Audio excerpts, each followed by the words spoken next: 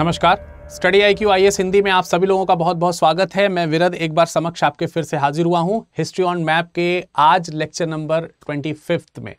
आज पच्चीसवां लेक्चर है और इसमें हम लोग पूर्व मध्यकाल के इतिहास को समझने का प्रयास करेंगे। इसके पहले मैंने गुप्त वंश तक आपको पढ़ाया है, उसके बाद गुप्तोत्तर वंश आता है। गुप्तोत्तर वंश इतिहास के तौर पर निस्संदेह इंपॉर्टेंट है। आप उस पर खास तौर से वर्धन वंश पढ़ते हैं उसमें भी खास तौर से हर्षवर्धन को पढ़ते हैं, लेकिन वहाँ पर बहुत ज़्यादा उपयोग मैप का नहीं है, इसलिए मैं उस पोर्शन को स्किप कर रहा हूँ। लेकिन इसके बाद का जो इतिहास है, वो मुख्य तौर से मध्यकालीन भारत का इतिहास शुरू हो जाता है। मध्यकालीन भारत के इतिहास को शुरू करने से पहले मैं जो मध्यकालीन भारत से पहले की जो पूर्व की जो स्थिति है, उसके ऊपर चर्चा आपसे करूँगा। तो आज का जो हमारा विषय है, वो विषय यही है, आज का जो हमारा विषय है, वो विषय है मध्य पूर्व मध्यकाल, पूर्व मध्य काल के राज्य। तो मैं कुछ पूर्व मध्यकाल के राज्य के ऊपर आज चर्चा करूँगा और खास तौर से उत्तर भारत में जो, उत्तर भारत में जो पूर्व मध्यकाल के राज्य हैं, उनके ऊपर हमारा डिस्कशन होगा। नॉर्दर्न इंडिया में जो कुछ पूर्व मध्यकाल हैं, उसमें डिस्कशन होगा। इसमें जैसे कन्नौज का राजवंश है, उसके ऊपर हमारी चर्चा रहेगी। थोड़ा बहुत मैं आपको कन्नौज के बारे में, उसकी लोकेशन क्या हुआ उसका, ठीक है? उसके ऊपर थोड़ी चर्चा करेंगे। कन्नौज की चर्चा इसलिए प्रारंभ में हम कर लेंगे, क्योंकि वर्धन वंश जो है वो समाप्त होता है, वो वहीं से शासन करते हुए आपको दिखाई देते हैं। उसके बाद उसका क्या हुआ, उसको हम लोग ध्यान देने का प्रयास करेंगे। वहाँ पर यशोवर्मन का शासन बहुत इंपॉर्टेंट है। फिर कुछ हिस्सा हम जो है वो कश्मीर का पढ़ेंगे, ठीक है? कश्मीर के कुछ राजवंश हैं जिनके बारे में हमको चर्चा करनी है। और इसके अलावा कुछ प्रमुख जैसे जो हमारे राजपूत राजवंश हैं। राजपूत राजवंश। ठीक है? ये राजपूत राजवंशों के ऊपर हमारी चर्चा होगी। पूर्व में जो हमारे कुछ राजवंश हैं, पूर्व के राजवंश, यानी कि पूर्वी हिस्से के पूर्व के राजवंश जो हैं, राजवंश, उन पर हमारी कुछ चर्चा होगी। जैसे पाल वंश है, सेन वंश है इन सब लोगों को आज हम लोग थोड़ा सा डिस्कशन करेंगे। तो आज का टॉपिक हमारा आपको क्लियर हो गया होगा कि हम लोग किस चीज़ को डिस्कशन करने वाले हैं। ठीक है? तो सबसे पहले हम इसमें कन्नौज की स्थिति को देखेंगे और कन्नौज की स्थिति को देखने के लिए हमें सबसे पहले मैप ड्रॉ करना होगा। तो चलिए आइए मैप ड्रॉ कर लेते हैं हम लोग। ठीक है? हम लोग सबसे पहले क्या करेंगे? इंडिया का जो मैप है, वो ड्रॉ करेंगे। तो आप लोग भी इसी तरीके से मैप को ड्रॉ कर सकते हैं। ठीक है, जो भी है, भारत का हिस्सा, पूरब का जो हिस्सा है, यहाँ पर आप छोटा सा भूटान के लिए जगह छोड़ सकते हैं, ठीक है? बाकी यहाँ पर थोड़ी सी जगह आप नेपाल के लिए ऐसे करके छोड़ सकते हैं, और बाकी तो ये आपका जम्मू कश्मीर वाला हिस्सा बन ही जाता है इस तरीके से, है ना? ये लोग, ये तो आप लोग बनाना खूब सीख ही गए और ये पूरब में, पश्चिम में राजस्थान वाला हिस्सा है, और ये गुजरात के साथ ऐसे जाके जुड़ जाता है। ये है हमारा भारत का नक्शा। इस भारत के नक्शे में अगर हम थोड़ा सा ये भी कहते हैं कि ये पाकिस्तान का हिस्सा है तो इसमें कोई दो राय नहीं है और इसके बाद इधर हम अफ़गानिस्तान इत्यादि का हिस्सा इसमें जोड़ दें तो कोई बड़ी बात है नहीं। तो ये आप देख के चलोगे कि तकरीबन जो है इस तरीके का हमको पोर्शन देखने को मिलता है। अब इसमें जो कन्नौज वाला हिस्सा है, कन्नौज, उत्तर प्रदेश को हम यहाँ पर चाहें तो ड्रॉ कर सकते हैं। ऐसे ऐसे करके आप उत्तर प्रदेश को ड्रॉ कर सकते हो। तो देखिए, एक मिनट, ये थोड़ा सा अंदर ज़्यादा प्रवेश हो गया, मुड़ गई रेखा। तो ये उत्तर प्रदेश का हिस्सा है, आप इस तरीके से ड्रॉ कर सकते हैं। ये ललितपुर वाला इलाका जो मैंने आपको हमेशा से बताया है और इधर लखीमपुर कीरी वाला जो इलाका है। ठीक है, ये आप देखोगे और यहीं से आप ऐसे करके ये आप देखिए, मध्य प्रदेश जो है वो आप इस तरीके से बड़ी खूबसूरती से इसको ऐसे बना सकते हैं। तो ये हमेशा हम चर्चा करते हैं आज भी इसके ऊपर चर्चा होगी और इधर की ओर का जो हिस्सा है, आपको मालूम है, फिर इसके आगे यहाँ पर बिहार है, यहाँ पर नीचे की ओर बंगाल का हिस्सा है, उड़ीसा के हिस्सा, सारे हिस्से आपको बनते हुए देखने को मिल जाएँगे। बहरहाल हर्ष की जब मृत्यु हुई तो हर्ष की मृत्यु के बाद कन्नौज की जो राजनीतिक स्थिति है, वो आगे कई वर्षों के लिए खराब हो गई। और फिर जाकर के कुछ लंबे समय पश्चात, तकरीबन 20-25 साल के पश्चात, वहाँ पर सुचंद्र वर्मन नाम के एक शासक थे, जिन्होंने फिर से जो है यहाँ पर अपने आप को स्टैब्लिश किया। तो जब हम कन्नौज की बात करते हैं अच्छा इसके मैं डुप्लीकेट बना लेता हूँ, जिससे कि मुझे आगे काम आते रहेंगे। आप लोग तो दोबारा से ड्रॉ करिएगा अलग अलग पेज पे। आपको मालूम है कि जो वर्धन वंश है, वर्धन वंश वर्धन वंश में प्रमुख शासक हुए हमारे हर्षवर्धन हर्षवर्धन। ठीक है? हर्षवर्धन का जो राज्य है, इसमें शुरुआती तौर पर जो इनकी राजधानी है, वो थानेश्वर है। थानेश्वर। ठीक है? तो जो थानेश्वर है, वो यहाँ कहीं आप देखोगे आपको थानेश्वर देखने को मिलेगा। इस जगह पर दिल्ली के पास में पंजाब का पूर्वी हिस्सा आपको ये थानेश्वर देखने को मिलेगा। तो थानेश्वर जो है इनकी प्रारंभिक राजधानी है। लेकिन बाद में इन्होंने राजधानी को चेंज करके कन्नौज कर लिया था। कन्नौज पे मौखरी वंश के शासकों का शासन हुआ करता था। तो बाद में इन्होंने कैपिटल जो है वो ट्रांसफ़र करके क्या कर ली? कन्नौज कर ली। ठीक है? कन्नौज। बाद में इन्होंने कैपिटल ट्रांसफ़र करके क्या कर ली? कन्नौज कर ली। अब इस तरीके से तो राजधानी अभी कन्नौज जो है, हर्षवर्धन के समय में बहुत ही प्रमुख केंद्र के तौर पर उभरा और बहुत ही प्रमुख व्यापारिक केंद्र के तौर पर बनकर के उभरता है। तमाम सारे भारत और पश्चिम जो देश हैं, वहाँ के जो व्यापार हो रहे हैं, उन व्यापार के जो प्रमुख मार्ग हो रहे हैं, वो इसी कन्नौज से होकर के गुजर रहे हैं। इनफैक्ट पश्चिम भारत, दक्षिण भारत, मध्य भारत और पूर्वी भारत को भी उत्तर से पूर्व की तरफ़ कनेक्ट करने का काम ये कन्नौज कर रहा है। तो बहुत इंपॉर्टेंट हुआ ये। यहाँ पर जब हर्षवर्धन का समय समाप्त होता है तो कुछ समय तक वहाँ पर सुचंद्र वर्मन ने आगे चल करके शासन किया। सुचंद्र वर्मन का हमको शासन देखने को मिला।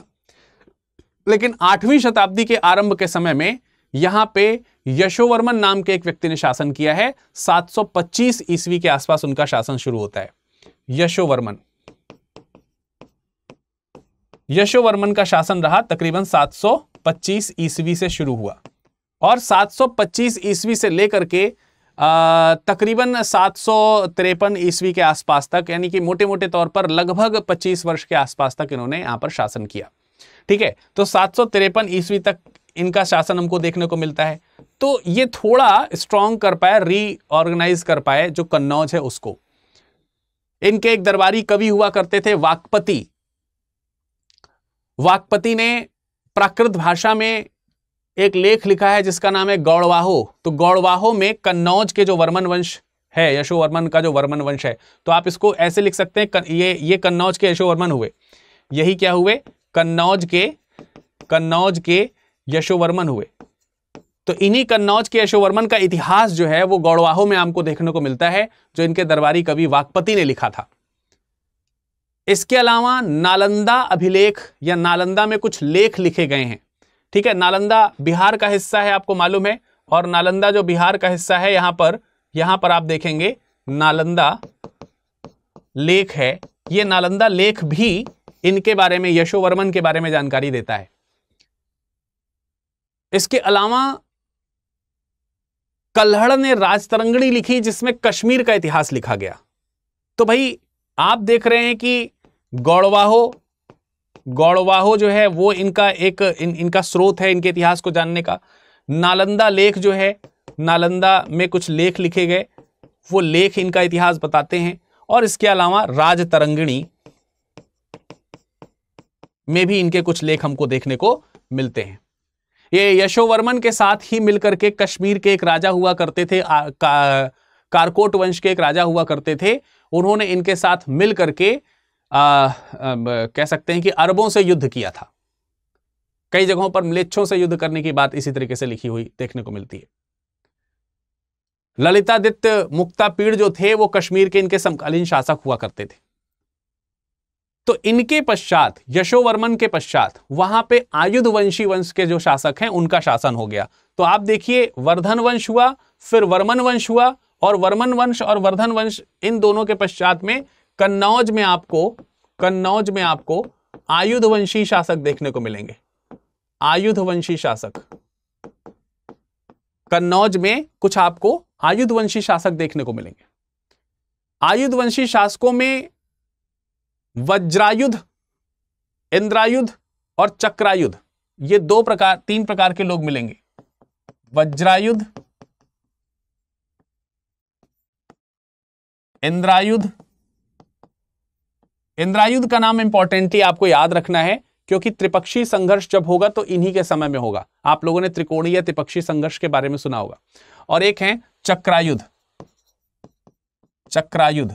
चक्रायुध जो है वो इंद्रायुध के भाई हैं। तो ये तीन शासक हैं जो कन्नौज पे रूलिंग कर रहे हैं। ये कन्नौज पे जो है वो शासन कर रहे हैं, ये कन्नौज का जो इलाका है, इस पर रूल कर रहे हैं। और इन्हीं के समय में त्रिपक्षीय संघर्ष शुरू होता है। खास तौर से इंद्रायुद्ध के समय में त्रिपक्षीय या त्रिकोणीय संघर्ष त्रिकोणीय संघर्ष जो है वो शुरू होता है। अब आप कहेंगे कि सर त्रिकोणीय संघर्ष में तो हमने पाल, प्रतिहार और राष्ट्रकूट, ये राजवंश देखे हैं। तो ना ये पाल है, ना प्रतिहार है, ना राष्ट्रकूट है तो फिर ये त्रिपक्षीय संघर्ष में कैसे शामिल हुआ? तो शामिल होने की कहानी यही है इसमें कि जो प्रतिहार वंशी शासक हैं, वो इनसे सत्ता छीन लेते हैं और इनको पदच्युत करके कन्नौज पर अधिकार कर लेते हैं। फिर जब वो कन्नौज पे अधिकार करते हैं, फिर बाकी की सत्ता जो जैसे पाल, नरेश हैं, वो आक्रमण करेंगे, फिर जो राष्ट्रकूट हैं दक्षिण से, वो फिर आक्रमण करेंगे तो कभी कोई कभी कोई कभी कोई कभी कोई जीतता रहेगा। शुरुआत में राष्ट्रकूट शासक ध्रुव जो है, वो विजित, विजेता जो है, वो घोषित होते हैं प्रारंभ में। बाद में फिर इस चीज़ को लेकर के बार बार लड़ाई झगड़े चलते रहते हैं। तो कभी इंद्रायुद्ध वहाँ पर सामंत बनाए जाते हैं दोबारा से। कभी इंद्रायुद्ध के जो भाई हैं चक्रायुद्ध वो सामंत बनाए जाते हैं पालों के द्वारा। ये बार बार प्रक्रिया जो है, वो चलती रहती है। इस चीज़ को आप त्रिकोणीय संघर्ष में पढ़िएगा। त्रिकोणीय संघर्ष को लेकर के यहाँ पर मैपिंग की कोई खास आवश्यकता है नहीं। तो ये मैंने आपको बताया कि ये कन्नौज के यशोवर्मन वंश है। तो यशोवर्मन वंश के साथ साथ कन्नौज में आपको आयुध वंशी शासन भी यहीं पर देखने को मिल जाता है। क्लियर चलिए, अब इसी चीज़ को हम अगर कश्मीर के साथ देखना चाहें तो हम यहीं पे कश्मीर दिखा देते हैं। स्पेस है हमारे पास में। हम बस कलर चेंज कर देंगे आपको। कश्मीर का वंश हमको देखने को मिलेगा। कश्मीर। अगर हम कश्मीर के वंश को इसी में समझने का प्रयास करें तो पौराणिक कथाएँ ये कहती हैं कि कश्मीर के जो पहले शासक हुए वो ऋषि कश्यप थे और उन्हीं के नाम पर यहाँ की जगह का नाम कश्मीर हुआ। और फिर बाद में काफ़ी लंबे समय तक उनके जो वंशज इत्यादि हैं, उन वंशजों ने यहाँ पर शासन किया। ठीक है तो कश्मीर के इतिहास की शुरुआत जो है, वो कश्यप ऋषि से हो रही है। कश्यप ऋषियों से, कश्यप ऋषि से। और ऐसा पुराणों में वर्णित किया गया, पुराणों के अनुसार। पुराणों के अनुसार। और फिर राजतरंगणी इत्यादि आती हैं और दूसरे फिर बाद में आधुनिक साहित्य आते हैं, वो ये स्वीकार करते हैं कि यहाँ पर कुछ समय तक इन लोगों के पश्चात, इनके वंशजों के पश्चात, वंशजों के बाद, इनके वंशजों के बाद मौर्य वंशी शासक अशोक मौर्य का शासन यहाँ पर रहा। अशोक मौर्य का यहाँ पर शासन रहा। और इस बात से कोई इनकार नहीं कर सकता कि अशोक मौर्य के बाद उसका बेटा जालौक जो है, वो राजतरंगणी में लिखा हुआ है क्योंकि। तो अशोक के एक बेटे हैं, जिनका नाम है जालौक। उन्होंने यहाँ से शासन किया। जालौक। जालौक भी मौर्य है, जो अशोक का बेटा है, वो यहाँ से शासन करता है। कहते हैं कि अशोक ने यहाँ पर श्रीनगर बसाया है। ठीक है, अशोक ने यहाँ पर एक जगह बसाई है, जिसका नाम है श्रीनगर। तो आप लोग श्रीनगर तो जानते ही हैं। तो वो श्रीनगर अशोक के द्वारा बसाया गया, ऐसा कहा गया। फिर जालौक जो है वो यहाँ पर हिंदू सभ्यता का विकास करते हुए नज़र आते हैं। फिर उसके बाद मौर्यों के बाद आप देखेंगे यहाँ पर कुषाण आ गए। मौर्यों के बाद इसी कश्मीर में कौन आ गए? कुषाण आ गए।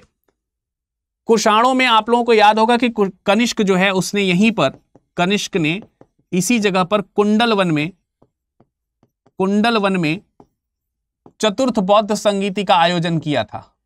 फोर्थ बुद्धिस्ट काउंसिल, ये तो खूब पढ़ चुके हैं आप। और इसने यहाँ पर कनिष्कपुर नाम का एक शहर भी बसाया था। कनिष्कपुर।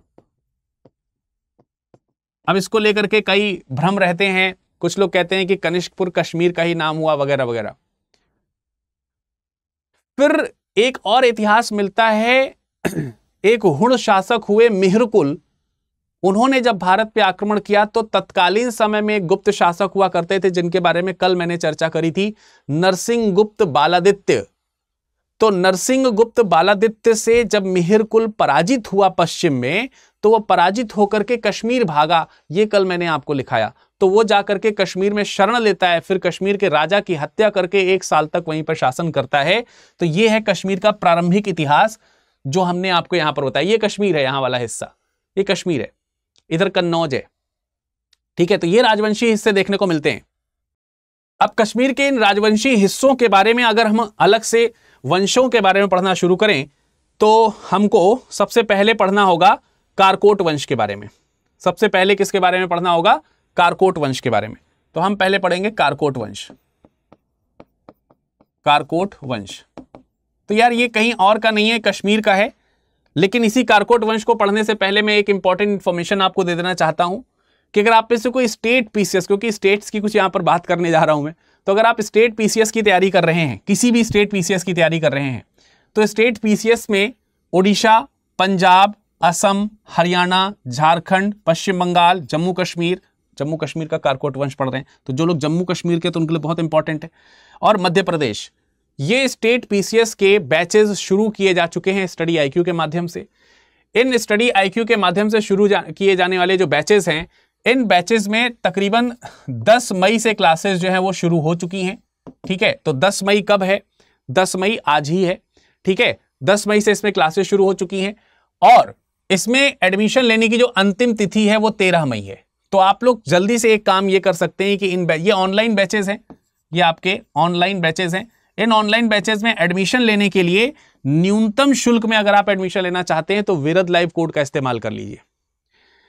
आपको इसमें डेली लाइव क्लासेस मिलेंगी डेली क्वेश्चन आंसर सॉल्व करने को मिलेंगे, जो मेंस में क्वेश्चंस आते हैं, जिन जिन स्टेट्स में जैसे जैसे आते हैं, वैसे आपको क्वेश्चंस मिलेंगे एमसीक्यूज आपको मिलेंगे बुक्स मिलेंगी क्रक्स मिलेंगे जो क्रक्स का जो फॉर्मेट है, वो आपको मिलेगा, ठीक है? ये सारी चीज़ें नोट्स वगैरह सब आपको अवेलेबल कराए जाएँगे। प्रिलिम्स मेंस, सारी चीज़ों की प्रिपरेशन इसमें होगी, प्री से लेकर के मेंस तक की। ठीक है तो ये फाउंडेशन बैच है, लेकिन इसमें प्री और मेंस की लाइव क्लासेस आपको मिल रही होंगी।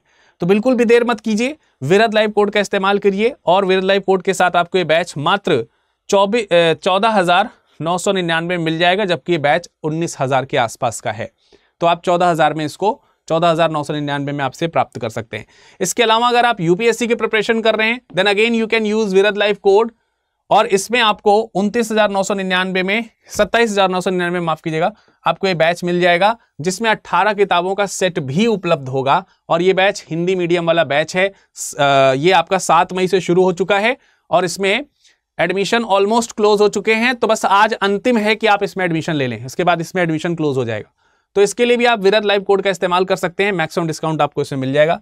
साथ ही साथ अगर आप ऑप्शनल की तैयारी करते हैं तो कई सारे ऑप्शनल्स यहाँ पर शुरू किए जा चुके हैं, जिसमें से पीएसआईआर और जो आपका हिस्ट्री है, ये शुरू हो चुका है बैच 6 मई से और शुरू होने वाला है आपका भूगोल का और हिंदी साहित्य का। इसमें भी आप विरत लाइव कोड का इस्तेमाल करके मैक्सिमम डिस्काउंट प्राप्त कर सकते हैं, पंद्रह हज़ार नौ सौ निन्यानवे में आपको ये मिलेगा। किसी प्रकार की समस्या है तो आप हमसे डिस्कस कर कर सकते हैं। विरद डॉट दुबे, इसमें टेलीग्राम या इंस्टाग्राम पे आप कहीं पर भी खोज करके आप हमें मैसेज कर दीजिए। चलिए, वापस आते हैं कश्मीर की तरफ़ हम लोग थे। कारकोट वंश जो है कश्मीर का उसके बारे में हम थोड़ा सा डिस्कशन करने जा रहे थे। तो देखिए, कारकोट वंश जो है वो पाँच से लेकर के आठ सौ पचपन ईस्वी के आसपास तक आपको मिलता है, जिसके संस्थापक जो है वो आपको दुर्लभ वर्धन मिलते हैं। दुर्लभ वर्धन। तो दुर्लभ वर्धन जो है, कश्मीर का जो ये राजवंश है, यहाँ पर आपको कारकोट वंश मिलेगा। यहाँ पर आपको कारकोट वंश मिलेगा, यहाँ पर शासन करते हुए शुरुआत में दिखाई देंगे। लेकिन दुर्लभ वंश वर्धन के पश्चात आप देखेंगे तो दुर्लभक नाम के एक व्यक्ति हैं, उन्होंने शासन किया। दुर्लभक नाम के एक व्यक्ति उन्होंने शासन किया। दुर्लभक के बाद इनके जो बेटे हैं, उन्होंने शासन किया है, जिसमें दो बेटे चंद्रपीड़ और तारापीड़ का नाम आता है। चंद्रपीड़ और तारापीड़, ये पहले शासन करते हैं। लेकिन जो प्रमुख शासक है वो प्रमुख शासक है मुक्तापीड़ मुक्तापीड़ कश्मीर में आरकोट वंश का सबसे प्रमुख शासक है। और मुक्तापीड़ जो है, इन्होंने ललितादित्य की उपाधि धारण करी है 724 से लेकर के 760 तक। 724 से लेकर के 760 ईस्वी के आसपास तक इनका शासन देखने को मिलता है। ये ललितादित्य की उपाधि धारण करते हैं। ललितादित्य की उपाधि धारण करते हैं। कश्मीर का सबसे बड़ा विस्तार जो है वो इन्हीं के समय में हुआ है। सर्वाधिक शक्तिशाली शासक के तौर पर इनको जाना जाता है। कन्नौज के जो यशोवर्मन शासक आपको मैंने देखा, बताया, उनके समकालीन माना जाता है। कुछ समय तक उन्होंने, दोनों ने मिलकर के संघ भी बनाया, लेकिन बाद में यशोवर्मन को इन्होंने पराजित भी किया और कन्नौज पर अधिकार कर लिया है। स्वाभाविक सी बात है कि कश्मीर जो है वो अपना पैर फैलाता हुआ कन्नौज तक तो यहाँ पर आ ही गया है। तो ये कन्नौज तक आ गए। इसके बाद इन्होंने तिब्बतियों को कंबोजों को और तुर्कों को पराजित किया है। तो आप यहाँ पर मोटे मोटे तौर पर देखेंगे तो इनका जो शासन है ना, इनका जो शासन है वो बहुत बड़े विस्तार पे हमको देखने को मिलता है। प्रारंभिक तौर पे उन्होंने कंबोज और तुर्की वाले जो रीजन्स हैं, वो सब ये ये वाला जो प्रांत है, ये सब उन्होंने तकरीबन जो है जीता है।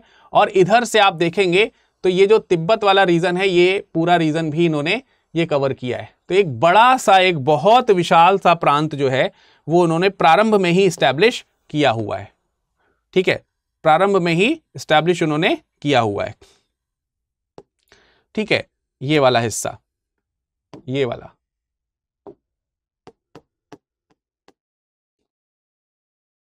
ठीक, ये एक बहुत बड़ा सा हिस्सा जो है उन्होंने यहाँ पर स्टैब्लिश किया हुआ है। आप इसको जो है थोड़ा कन्नौज तक भी एक्सटेंड कर सकते हैं, ऐसे करते हुए। ये। ठीक है? तो ये हिस्सा आपको फिल होते हुए दिखाई देगा। तो ये कश्मीर में कारकोट वंश हुआ। ये आपका कश्मीर का कारकोट वंश हुआ। कारकोट वंश। ये शुरुआत में इन्होंने किया। प्रारंभ में इन्होंने किया। और उसके बाद तुर्को उर्कों को भी इन्होंने पराजित किया। इनका नाम इसलिए भी इंपॉर्टेंट है क्योंकि यही ललितादित्य हैं जिन्होंने कश्मीर में, जिन्होंने कश्मीर में एक सूर्य मंदिर सूर्य मंदिर का निर्माण कराया है। और उस सूर्य मंदिर का क्या नाम है? मारतंड सूर्य मंदिर। और इसी मारतंड सूर्य मंदिर को रिकंस्ट्रक्ट कराने की बात जम्मू कश्मीर सरकार कर रही है और यह भी कर रही है कि इसको रिकंस्ट्रक्ट कराने के बाद हम यहाँ पर ललितादित्य मुक्ता पीड़ की मूर्ति भी बनवाएँगे। तो ये शासन रहा। इसके बाद इन्होंने दक्षिण में भी काफ़ी बड़े विजय अभियान रखे। कुछ लोगों का ऐसा मानना है कि इनका विजय अभियान जो है, वो दक्षिण में भी काफ़ी दूर तक फैला रहा और एक बहुत बड़े राजवंश को उन्होंने स्टैब्लिश किया है। अब ये जो है कुछ अलग अलग लोगों का अलग अलग तरीके का मानना है कि ऐसा था भी या नहीं भी था। परंतु फिर भी ऐसा विभिन्न साहित्यों से हमको खास तौर से जो आ, आ, जो आपकी राजतरंगड़ी है वो ये बताती है कि बहुत ही विशाल साम्राज्य अशोक जैसा विशाल साम्राज्य जो है इसने स्टैब्लिश किया था। तो महान शासकों में ये भी एक रहे हैं। फिर उसके बाद बहुत शासक इसके बाद आते जाते रहे जिसमें जया पीड़ हैं विनयादित्य, जिनका नाम रहा है, ललिता पीड़ रहे, उत्पल पीड़ जो है इस वंश के अंतिम शासक हुए। तो कारकोट वंश का जो अंतिम शासक है वो कौन है? अंतिम शासक है उत्पल पीड़। उत्पल पीड़ जो है वो इस वंश के फिर लास्ट में अंतिम शासक हुए। तो ये आपको पूरा कारकोट वंश यहाँ पर फैला हुआ देखने को मिलेगा। ठीक है? कारकोट वंश के बाद जम्मू कश्मीर में उत्पल वंश आया। उत्पल वंश के बाद उत्पल पीड़ एक शासक भी हुए, उसके बाद उत्पल वंश भी आया। ठीक है? तो अगर हम वंशों की बात करें तो कारकोट वंश है कारकोट के बाद उत्पल वंश है ठीक है? यह भी जम्मू कश्मीर का ही है। यह भी आपको जम्मू कश्मीर का ही मिलेगा। इसके बाद आपका लास्ट में लोहार वंश है। लोहार वंश है। ठीक है? यह भी आपको जम्मू कश्मीर में ही देखने को मिलेगा। आ, अंतिम शासक के तौर पर आपको लोहार वंश के शासक देखने को मिलेंगे। उत्पल वंश में रानी दिद्दा का नाम आप लोगों ने हो सकता है सुना हो। तो रानी दिद्दा इसी में फ़ेमस थी। महिला शासिकाओं में आपको उत्पल वंश में रानी दिद्दा और महिला शासिकाओं में ही रानी सूर्यमती, जो कि लोहार वंश से हैं। सूर्यमती, इनका जो है शासन आपको देखने को मिलता है। तो यह है आपका कश्मीर का इतिहास। कश्मीर के इतिहास के पश्चात अब हम चलेंगे पूर्व की ओर। ठीक है?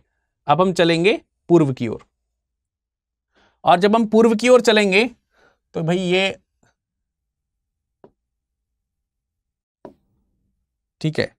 भाई यहाँ पर आप देख सकते हो कि ये आपका नेपाल वाला हिस्सा है, ये आपका ऐसे भूटान वाला हिस्सा है, क्योंकि खाली खाली लग रहा था तो मैंने उसको थोड़ा सा बना दिया।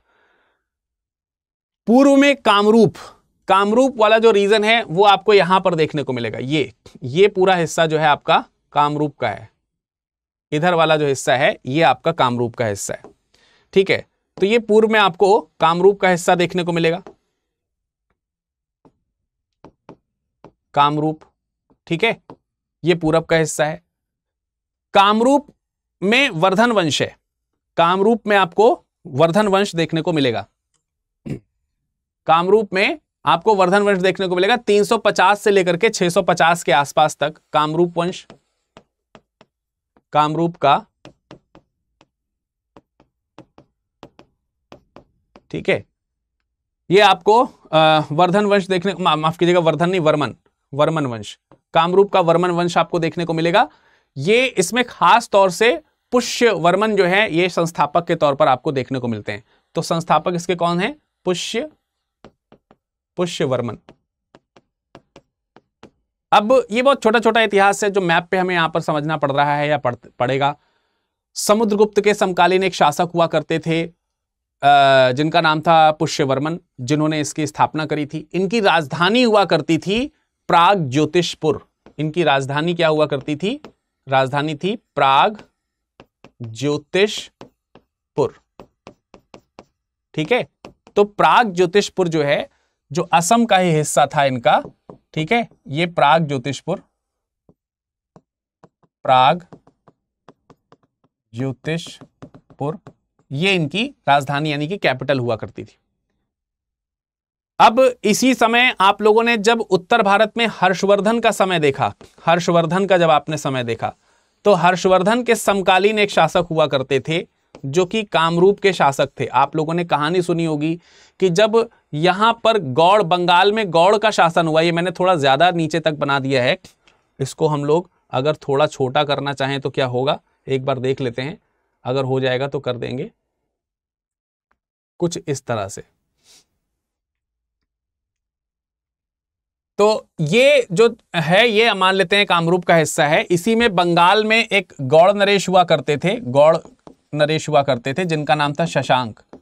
और आप लोगों को मालूम ही है कि ये शैव थे और इन्होंने जो हर्षवर्धन की बहन है और उनके जो पति हैं, उनकी हत्या करी थी। तो उसका बदला लेने के लिए हर्षवर्धन ने पूरब की ओर कैंपेन किया था। तो भास्कर वर्मन नाम के एक व्यक्ति थे। तो हर्ष के समकालीन जो हुए, वो कौन हुए? भास्कर वर्मन। भास्कर वर्मन।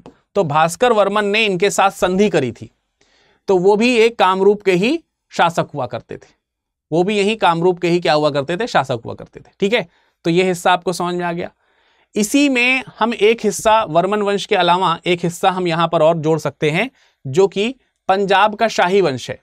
जो कि पंजाब का पंजाब का शाही वंश है, शाही वंश। आप इसे शाही वंश कह सकते हैं या हिंदू शाही वंश कह सकते हैं। अब इसका भी बड़ा रोचक इतिहास है। वासुदेव नाम के एक व्यक्ति थे जो कुषाणों में अंतिम कुषाण माने जाते हैं। ठीक है? तो कुषाणों में अंतिम कुषाण कौन माने जाते हैं? अंतिम कुषाण में वासुदेव का नाम लिया जाता है। हालाँकि इसको भी लेकर के काफ़ी मतभेद हैं। कुषाण जो है, वो यूची ट्राइब के थे, चाइना से आपको मालूम है। तो यूची शाखा जो भारत में रह रही है, वो इस वासुदेव के बाद लगभग लगभग एकदम नष्ट हो चुकी थी। वो खत्म हो चुके थे, अपना सारा राज्य खो चुके थे। लेकिन फिर भी इनमें में से कुछ ऐसे थे जिन्होंने उत्तर पश्चिम भारत में अफ़गानिस्तान के पास से शाही उपाधि धारण करते हुए राज्य कंटिन्यू किया। तो उनका जो उनका जो शासन है ना, वो यहाँ पे कहीं पर हमको देखने को मिलता है, इन जगहों पर। ये ये वाला जो हिस्सा है, ये हमको थोड़ा सा शाही हिस्सा देखने को मिलता है। ये हिंदू शाही वंश है यहाँ पर, आप देखेंगे। ठीक है? तो यहाँ पर आपको शाही वंश देखने को मिलेगा। शाही। ये शाही शासक है यहाँ पर। अब ये शाही उपाधि किसी और ने नहीं, उन्हीं जो जो कुषाण हुआ करते थे। अंतिम जैसे कुषाण की मैं बात कर रहा था, अंतिम कुषाण की मैं बात कर रहा था तो अंतिम कुषाण के तौर पर जो वासुदेव हैं, वासुदेव के बाद के जो कुषाण है मतलब कुषाण तो हैं, वो तो यूची ट्राइब ही है। तो यूची ट्राइब जो है, उसी यूची ट्राइब ने अपनी उपाधि ले ली है शाही। और इसी शाही उपाधि के नाम से इन्होंने अफ़गानिस्तान वाला जो क्षेत्र है, अफ़गानिस्तान का जो क्षेत्र है, इस अफ़गानिस्तान के क्षेत्र से शासन करना शुरू किया है। अफ़गानिस्तान से शासन करना शुरू किया है। फिर ये शासन कर रहे थे उसी समय पश्चिम की तरफ़ से जो फारस का, इधर पश्चिम की तरफ़ जाएँगे तो पर्शिया जुड़ जाएगा तुरंत ही। फारस के आक्रमणकारी जो हैं, ससानी आक्रमणकारी हुआ करते थे वो तो ससानी वंश ने इनके ऊपर आक्रमण किया। उसके बाद हुड़ों के लगातार हमले होते रहे शाही वंश के ऊपर, ठीक है? तो ये फिर भी उन हमलों को झेलते हुए अपना शासन किसी तरह करते रहे और इन्होंने हिंदू रिलीजन को अपनाते हुए, हिंदू धर्म को इन्होंने क्या किया? हिंदू धर्म को इन्होंने क्या किया? हिंदू धर्म अपनाया। हिंदू धर्म अपनाया। और इसी वजह से हम इनको हिंदू शाही वंश कहते हैं। क्या कहते हैं? हिंदू शाही वंश। तो फिर इनका राज्य विस्तार इस तरफ़ भी हुआ। ये धीरे धीरे विस्तार करते हुए ये जो है ये कराची तक भी आ गए, इन्होंने अपना राज्य विस्तार किया। तो फ़ेमस हुए अरब सागर तक आ गए, पश्चिम में इनकी तटरेखा यहाँ पर जुड़ी। अफ़गानिस्तान पर इनका काफ़ी अच्छी तरीके से आधिपत्य हो गया, ये आपके हिंदू शाही वंश के लोगों का। तो इनमें एक राजा हुए, जैसे जयपाल, इनमें एक राजा हुए। जयपाल, आप लोगों ने नाम सुना होगा। जब भी आप पूर्व मध्यकाल पढ़ते हैं, इस्लामिक आक्रमणकारियों का नाम सुनते हैं, तब आप जयपाल का नाम सुनते हैं। नौ से लेकर के 1001 ईस्वी तक इनका शासन रहा।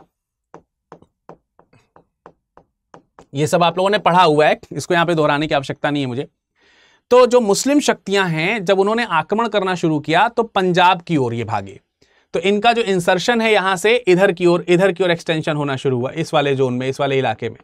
ये वाला जो इलाका है, ये पंजाब की ओर आना शुरू करते हैं। ठीक है? विदेशी जो आक्रमणकारी हुए, विदेशी जो आक्रमण हुए, इन आक्रमणों के कारण ये जो है, पंजाब की ओर आए। पंजाब की ओर। ठीक है? और पंजाब की ओर से लेकर के पश्चिमोत्तर भारत तक इनका यहाँ से शासन जो है वो चलना शुरू हुआ, क्योंकि उससे पराजित हुए। फिर इनमें जयपाल जो शासक हुआ, उस जयपाल को ये स्पष्ट हो गया कि अगर यहाँ यहाँ अफ़गानिस्तान तक अगर इस्लामिक शासक आ चुके हैं इस्लामिक शासकों में सुबुक्तगीन जो है वो गजनी पर जो है अधिकार कर चुका था। तो उसे अंदाज़ा हो गया कि अब ये पूरब की तरफ़ और आएगा ज़रूर। इसलिए जल्दी से जयपाल ने दिल्ली अजमेर कन्नौज और कलिंजर ठीक है? आप मान के चलिए ये दिल्ली यहाँ पे ये अजमेर यहाँ पे आ, मान के चलिए कि आप कन्नौज और कलिंजर। ठीक है? तो ये जो चार शासक हैं, इन चार शासकों का संघ बना करके, दिल्ली, अजमेर, कन्नौज और कलिंजर। कलिंजर जो है ना, मैं यहाँ से थोड़ा सा और अलग बना देता हूँ। ये आपका, ये ठीक जगह नहीं है कलिंजर के लिए। कलिंजर थोड़ा आपका बांदा की तरफ़ मिलेगा। तो ये आप यहाँ पे ड्रॉ कर सकते हैं, तकरीबन इस जगह पर। ठीक है ये। तो ये आपका कलिंजर है। कलिंजर, यहाँ पर आप कन्नौज लिख सकते हैं। यहाँ पर आप अजमेर लिख सकते हैं। ठीक है? और ये तो आपका दिल्ली है ही।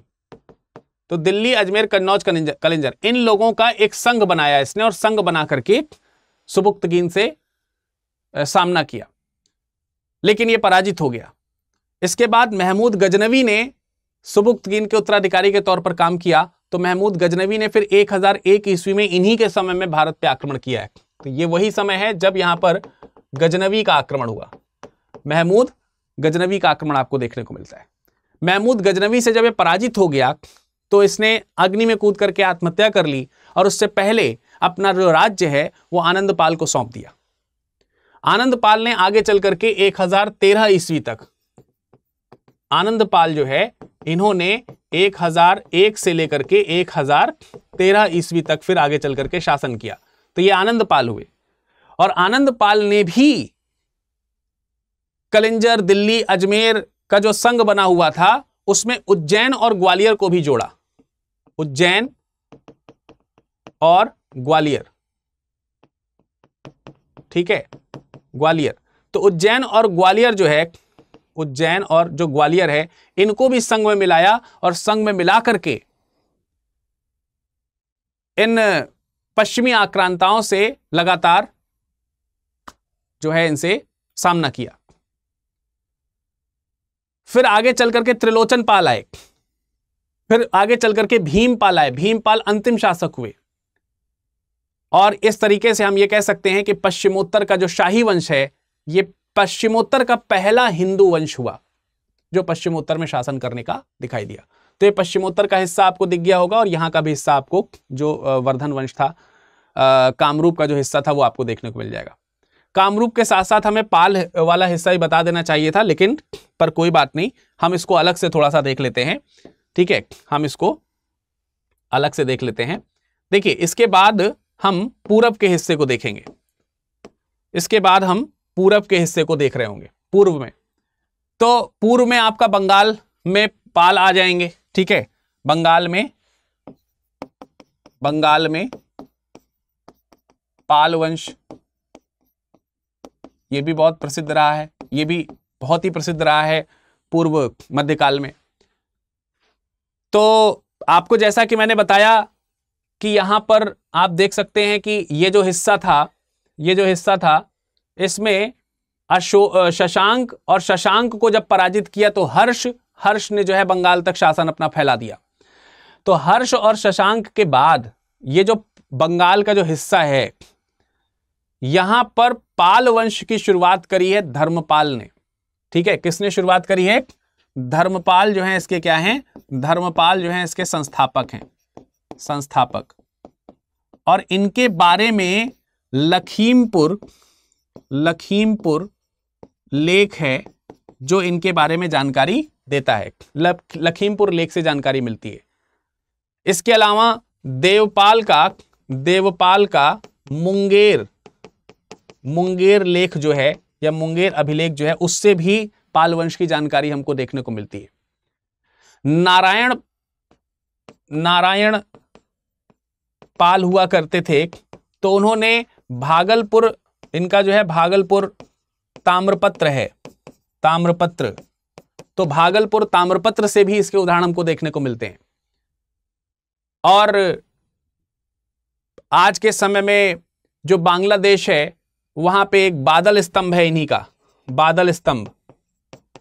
बादल स्तंभ। इनसे भी हमको पाल नरेशों की जानकारी मिलती है। तो आप लखीमपुर ठीक है? देवपाल जो मुंगेर का इलाका है बिहार में ठीक है? जो आ, ये आप आ, बादल का हिस्सा देख सकते हैं और ये भागलपुर का हिस्सा देख सकते हैं भागलपुर का हिस्सा देख सकते हैं।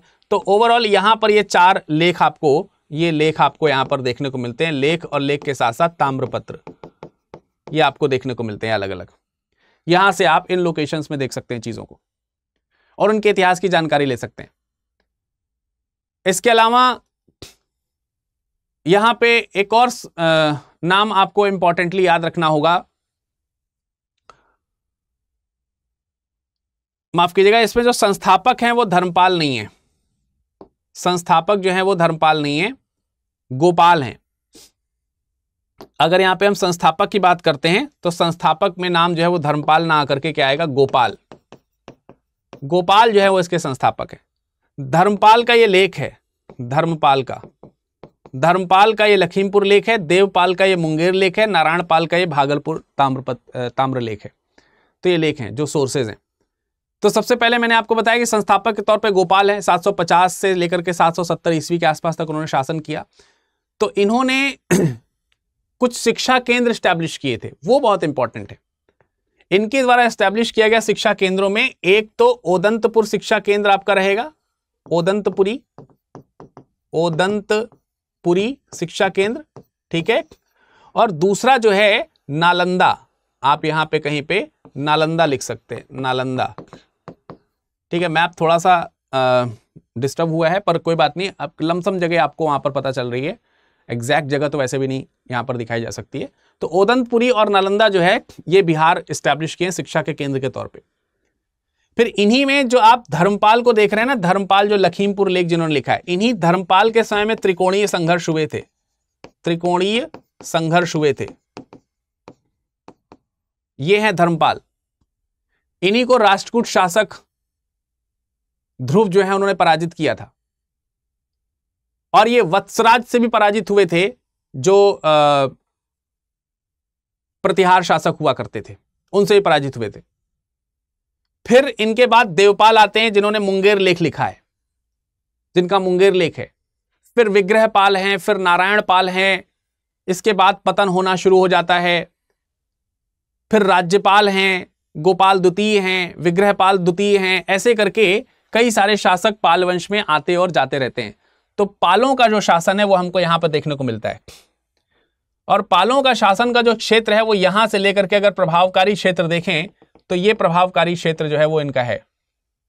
ये इतना पूरा प्रभावकारी क्षेत्र जो है, वो पालों का हमको समझ में आता है ये ये पूरा हिस्सा। ठीक है? तो ये आपका पाल वंश है यहाँ पर, अगर आप देखोगे।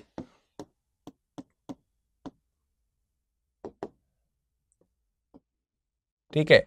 ये अगर आप देख सकते हैं तो ये आपका पूरा पाल वंश हमको यहाँ पर देखने को मिल जाएगा। ये, यहाँ पर पाल वंश है। ठीक है? फिर इसी बंगाल में आपको सेन वंश भी देखने को मिलेगा। बंगाल का सेन वंश। ठीक है? बंगाल का सेन वंश। 1005 ईस्वी में सामंत सेन के से इसकी शुरुआत होती है। विजय सेन का देवपाड़ा अभिलेख जो है, वो इसके लिए बड़ा इंपॉर्टेंट है। बल्लाल सेन का नहरी अभिलेख है। लक्ष्मण सेन का जो है, वो अभिलेख है। ये सब जो है, इनके सोर्सेज के तौर पर जाने जाते हैं। तो बंगाल से ही सेन वंश और बंगाल से ही पाल वंश दोनों हैं। तो दोनों इसी जगह पर शासन कर रहे हैं। सेनों के बारे में ये कहा जाता है कि मूल रूप से ये आरकाट प्रदेश के कहीं से बिलोंग करते थे। तो सेन जो है इनका जो मूल रूप है मूल रूप से आरकाट से बिलोंग करते थे। किससे बिलोंग करते थे? आरकाट से। आरकाट प्रदेश से बिलोंग करते थे। और आरकाट प्रदेश जो है ये जो आ, जो आंध्र प्रदेश और कर्नाटक का जो मिलन जहाँ पर हो रहा है इस जगह पर कहीं पर आरकाट रीजन है।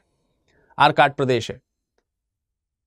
तो आरकाट या कर्नाट, ऐसे बोला जाता है, कर्नाट प्रदेश। पश्चिमी आंध्र प्रदेश का हिस्सा है, ठीक है? आंध्र प्रदेश का पश्चिमी हिस्सा और कर्नाटक का उत्तरी हिस्सा, ठीक है? आरकाट न लिख करके हम यहाँ पे कर्नाट लिख दें तो ज़्यादा अच्छा रहेगा। कर्नाट कर्नाट प्रदेश, कर्नाट, ठीक है? तो कर्नाट क्या है? पश्चिमी आंध्र प्रदेश का हिस्सा और उत्तरी कर्नाटक का हिस्सा। यहाँ से बिलोंग करते थे लेकिन जब यहाँ पर इस बंगाल के शासन वाले इलाके पर जब कुलचरी और कुलचरियों का जो शासन है, वो चेरी शासक कहलाते हैं, जो आपके बुंदेलखंड के आसपास यहाँ पर देखने को मिलेंगे और फिर यहाँ पूरब तक, उड़ीसा तक आपको आते हुए देखने को मिलेंगे। तो जो कलचुरी शासक हैं, उनके और चोलों के आक्रमण बार बार बंगाल पे होने लगे और बंगाल जो है, वो कमज़ोर हो गया। तब उसी समय सेन जो है वो पश्चिम बंगाल में राढ़ में जाकर के बसना शुरू करते हैं। और वहाँ पर सेन वंश का एस्टैब्लिशमेंट होना शुरू होता है सामंत सेन के माध्यम से। तो ये आपका बंगाल में इस इस तरीके से ये वाला इलाका है। अब इसमें दूसरे हिस्से की अगर हम बात करें तो कुछ राजपूत राज्य आएँगे। कुछ क्या आएँगे? राजपूत राज्य आएँगे। राजपूत राज्य। कुछ यहाँ पर हमको राजपूत राज्यों के ऊपर भी चर्चा कर लेनी चाहिए, जो आपको इसी मैप में देखने को मिल जाएँगे। अब राजपूत राज्यों में एक नाम आपका गुर्जर प्रतिहार वंश का आएगा। राजपूत राज्यों में एक नाम किसका आएगा? गुर्जर प्रतिहार वंश। प्रतिहार वंश। ये गुर्जर प्रतिहार वंश। ये बहुत इंपॉर्टेंट है, त्रिपक्षीय संघर्ष में एक महत्वपूर्ण स्थान रखते हैं ये। इनके संस्थापक जो है वो नागभट्ट प्रथम है। नागभट्ट नागभट्ट प्रथम ये इनके संस्थापक के तौर पर जाने जाते हैं आपने पढ़ा भी होगा। और कन्नौज जो है, इन्होंने अपनी इनमें एक शासक हुए वत्सराज। तो जो वत्सराज है बेसिकली इन्होंने ही त्रिपक्षीय संघर्ष शुरू किया और उन्होंने कन्नौज पर अधिकार कर लिया। और कन्नौज पर अधिकार करके इसको अपनी राजधानी बनाया। ठीक है? तो एक बार आपको फिर से कन्नौज देखने को मिलेगा। ठीक है? कन्नौज। ये राष्ट्रकूट शासकों को, का इलाका आपको देखने को मिलेगा। इससे पहले अगर हम देखेंगे तो पूर्व में ये मंदौर वाला जो इलाका है, मंदौर राजस्थान का जो इलाका है, वहाँ पर ये शासन किया करते थे। मंदौर मंदौर राजस्थान, यानी कि पश्चिमी प्रदेशों का इनका निवास स्थान है। और इन्हीं के ध्वंसावशेषों पर बाद में आगे चल करके बहुत सारे राजपूत राजवंश जो है वो स्टैब्लिश हुए। तो इन्होंने अपना प्रसार जो है काफ़ी हद तक किया। मतलब अगर आप देखोगे तो ये पूरा हिस्सा जो है वो कन्नौज वाला जो है, ये हिस्सा आपको ये इस तरीके से पूरा देखने को मिलता है, ये वाला पोर्शन। तकरीबन तक, लगभग लगभग अगर आप देखोगे तो ये प्रतिहारों का मिलेगा ये इलाका। ये प्रतिहारों का इलाका आपको देखने को मिलेगा। ठीक है? ये प्रतिहार। और इसी तरीके से अगर आप यहाँ पर देख रहे थे अभी तो इसी को लेकर के यहाँ ये आपका ये बंगाल का जो शासन है, वो आप देख रहे थे पूरा। ये बंगाल का जो शासन आप देख रहे थे, वो यहाँ पर। तो यहाँ पर आप देख रहे थे कि बंगाल का शासक है। शासन कर रहे हैं लगातार। यह बंगाल है। और इसी में आप, अगर आप दक्षिण में देखेंगे तो ये राष्ट्रकूटों का शासन हो जाएगा। इसी में अगर आप देखेंगे तो ये जो है आपका हिस्सा, पूरा जो है, वो राष्ट्रकूट शासकों का आ जाएगा। ये राष्ट्रकूट शासक है। यहाँ पर। तो ये राष्ट्रकूटों का शासन आपको यहाँ पर देखने को मिल जाएगा। इतने ही हिस्से में। सब इसी में मिक्स हो रहा है। ठीक है? क्यों? क्योंकि सभी को कन्नौज के ऊपर क्या करना है? आधिपत्य करना है। तो सभी कन्नौज के ऊपर आधिपत्य करने के चक्कर में इस क्षेत्र को क्या कर रहे हैं? विजित करने का प्रयास कर रहे हैं। ठीक है? सभी लोगों को यहाँ पर अपनी विजय का ख्याल है। ठीक है? अब जरा देखिए ये आपका जो ट्रायंगल मैंने आपको बताया तो इसमें आपका ये प्रतिहार हो गए। ये यहाँ पर ये राष्ट्रकूट रहेंगे। यहाँ पर ये कौन रहेंगे? ये आपके राष्ट्रकूट शासक हैं। राष्ट्रकूट शासक हैं और ये आपके पाल हैं।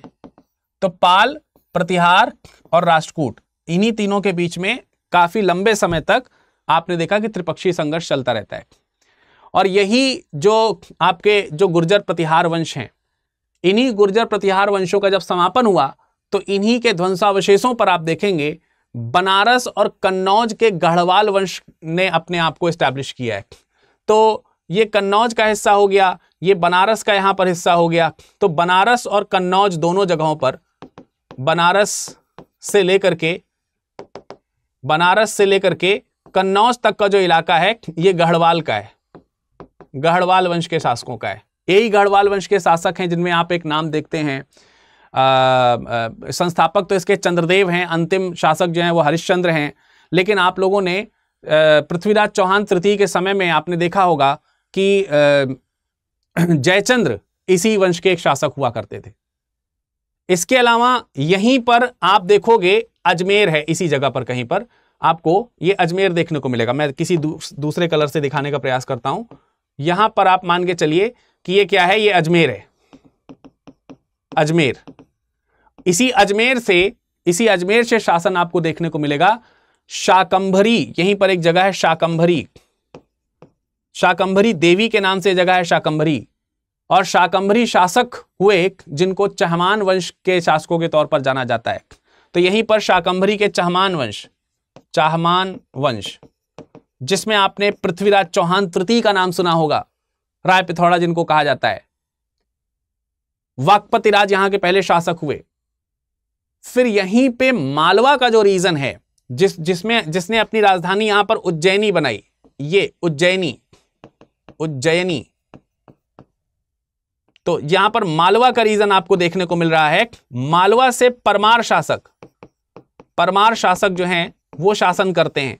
तो ये परमार जो हैं, वो परमार वंश है, मालवा से हैं, ये वहाँ के राजपूत राजा राजा हैं।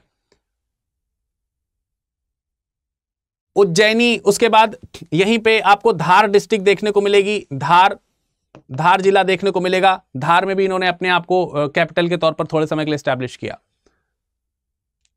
फिर बुंदेलखंड वाला जो इलाका है, जिसको जेजाक भुक्ति कहा जाता था, वहाँ पे जैसे बुंदेलखंड का इलाका आप देखेंगे, यहाँ पर ये ये बुंदेलखंड का इलाका है पूरा, ऐसे मान के चलिए ये। ये पूरा का पूरा जो पोर्शन आप देख रहे हैं, ये बुंदेलखंड है।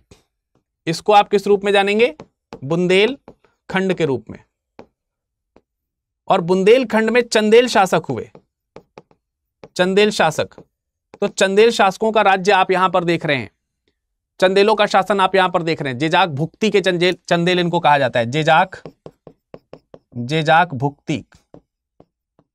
या जेजाक भुक्ति शासक भी इनको कई जगहों पर कहा जाता है। चंदेलों को। और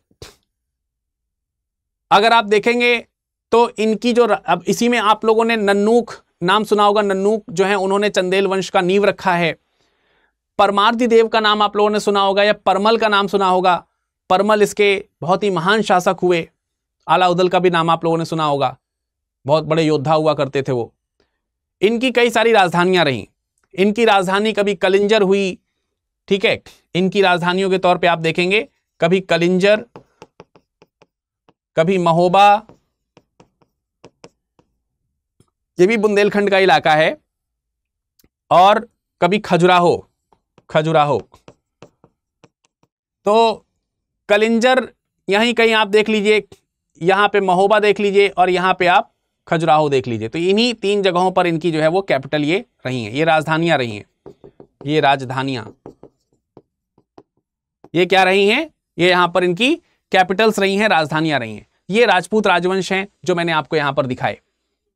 इसके बाद आप लोगों को कुछ और भी यहाँ पर एक दो राज्य और याद रखने चाहिए मैपिंग में। जैसे त्रिपुरी के कलचुरी चेदी वंश हुए, है ना? तो त्रिपुरी के, त्रिपुरी त्रिपुरी के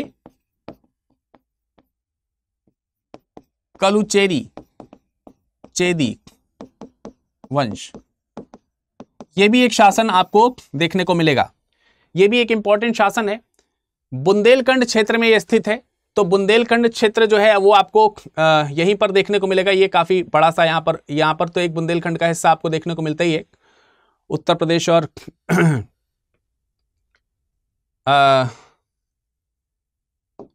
ठीक है।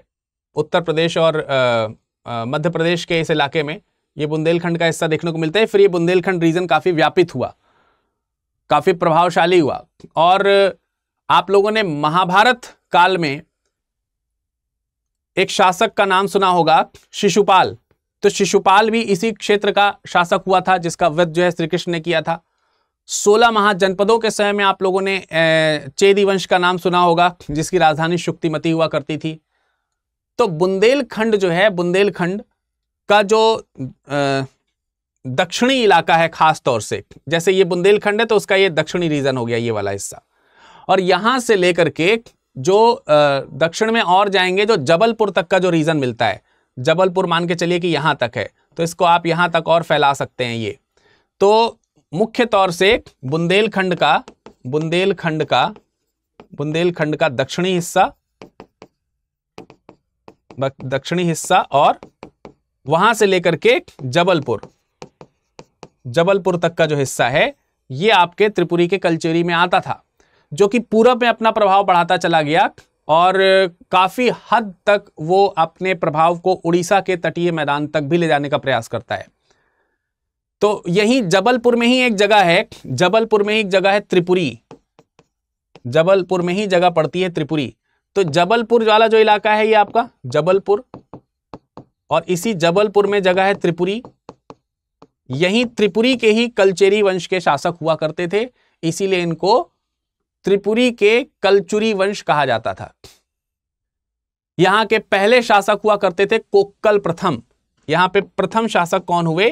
प्रथम शासक हुए कोक्कल कोक्कल फ़र्स्ट। ये इसके कलचरी वंश के पहले शासक हुआ करते थे और विजय सिंह जो है वो इसके अंतिम शासक थे। तो एक राज्य जो है वो आपको तकरीबन इस हिस्से में आपको देखने को मिलेगा। ठीक है? एक हिस्सा जो है आपको यहाँ पर देखने को मिल रहा है। तकरीबन इस प्लेस में। ठीक है? तकरीबन इस प्लेस में आपको एक हिस्सा देखने को मिल रहा है। फिर अगर हम अगर हम यहाँ से पूर्वी की तरफ़ आ जाएँ माफ़ कीजिएगा, पश्चिम की तरफ़ आ जाएँ तो पश्चिम में गुजरात के चालुक्य और सोलंकी वंश का शासन हुआ करता था। तो चालुक्य और सोलंकी वंश का जो शासन है, वो भी काफ़ी आ, मतलब प्रभावशाली और बड़े शासन के तौर पर देखने को मिलता है। ये तकरीबन इस तरीके का हिस्सा आप लगा सकते हैं अनुमान में। ठीक है? ये वाला जो रीजन है पूरा। यहाँ पर आप देखोगे तो यहाँ पर आपको यहाँ पर आपको जो है चालुक्य वंश देखने को मिलेगा। चालुक्य वंश आपको देखने को मिलेगा या इन्हीं को हम सोलंकी कह सकते हैं। सोलंकी शासक। सोलंकी शासक मतलब गुजरात के ही गुजरात के। गुजरात के सोलंकी शासक और चालुक्य जो वंश है वो आपको यहाँ पर देखने को मिलेगा, जिसमें मूलराज प्रथम का नाम आप लोगों को याद होगा। 942 ईस्वी में मूलराज प्रथम ने जो है गुजरात के इस सोलंकी वंश का एस्टेब्लिशमेंट किया है। इनकी राजधानी जो है, वो अनहिलवाड़ा हुआ करती थी। यहाँ कहीं पे आप देखेंगे तो अनहिलवाड़ा जगह है।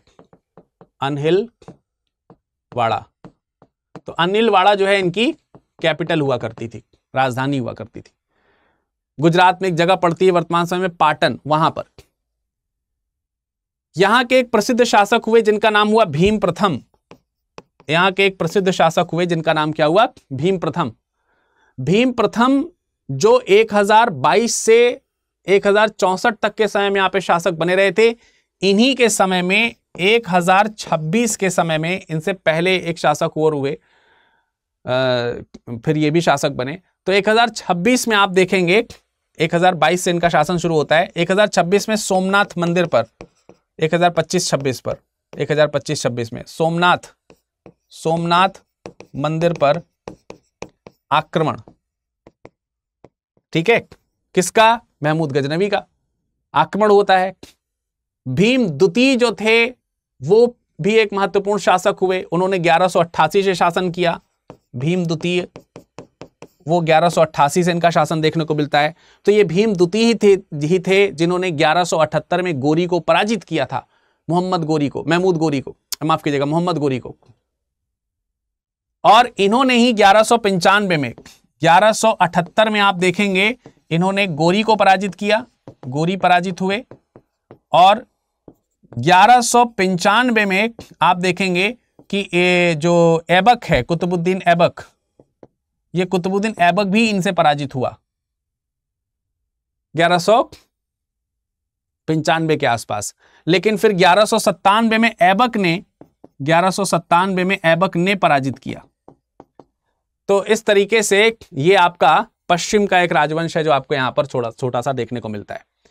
आई होप कि आपको मैप में मध्यकालीन भारत से पहले के जो राज्य हैं वो समझ में आए होंगे।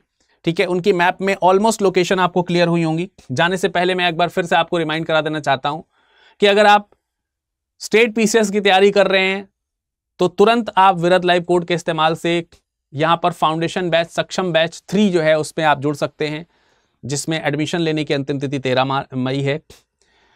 यूपीएससी की प्रिपरेशन कर रहे हैं तो जीएस फाउंडेशन बैच पी आप ले सकते हैं। इसमें एडमिशन लेने की तिथि आज हो चुकी है अगर एडमिशन लेना है तो ज़रूर मुझे आप कांटेक्ट करके बताइएगा, आपका एडमिशन हो जाएगा। सत्ताईस हज़ार नौ सौ निन्यानवे रुपये में आपको ये बैच मिल रहा है।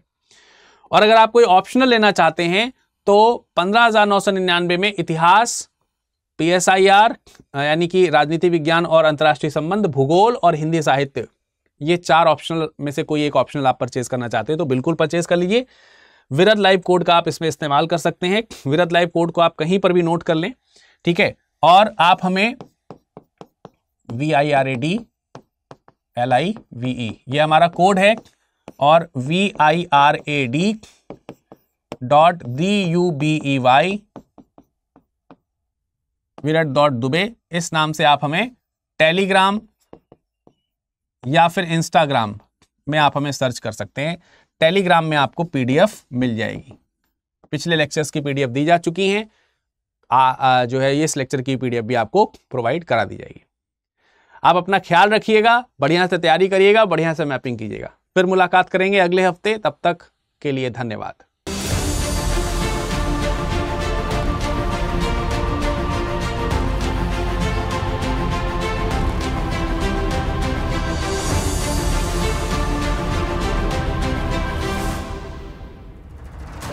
हिंदी में यूपीएससी की तैयारी से संबंधित प्रोग्राम्स को देखने के लिए सब्सक्राइब करें study I Q I S Hindi